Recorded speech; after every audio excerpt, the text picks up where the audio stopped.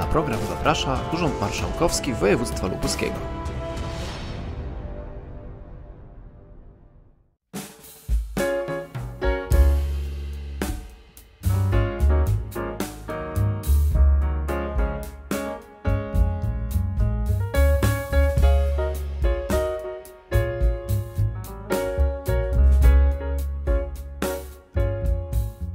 W ubiegły czwartek w Pałacu w Wiechlicach odbyło się spotkanie z aktorką Joanną Brodzik.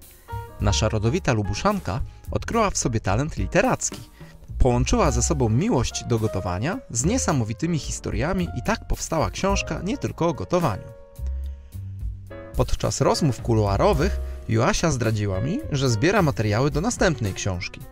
Okazuje się, że podczas spotkań promujących jej pierwsze wydawnictwo miała okazję rozmawiać z paniami z kół gospodyń wiejskich, a jak wszystkim wiadomo, panie mają w zanadrzu wspaniałe przepisy na potrawy, którymi raczą wszystkich podczas wspólnych imprez.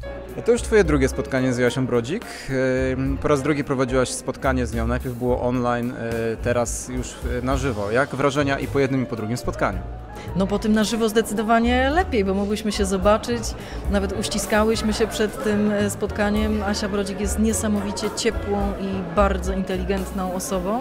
Jak się okazuje, nie tylko dobrze gotuje, ale też dobrze radzi, tak życiowo. Nawiasem mówiąc, ona też prowadzi treningi personalne, także jest też filozofką życia. No i spotkanie, mam nadzieję, że owocne, zostawia nas taką refleksją o rodzinie, o spotkaniach, o siedzeniu zgodnie przy jednym stole, no i pewnie też z cieknącą ślinką, żeby coś sobie upichcić. Czyli znakomite rady wprost przed świętami. Myślę, że tak, że to ważne spotkanie właśnie w tym okresie przedświątecznym, kiedy e, powinniśmy usiąść, rozmawiać z sobą przy wigilijnym stole, ale też zjeść coś dobrego, może tradycyjnego, a może coś właśnie z tych przepisów, które Asia e, uzbierała jeżdżąc po całym świecie. Jasiu, przed Tobą turnę po całym województwie jeździsz z książką. Powiedz, czy były jakieś pytania z sali, które Cię zaskoczyły?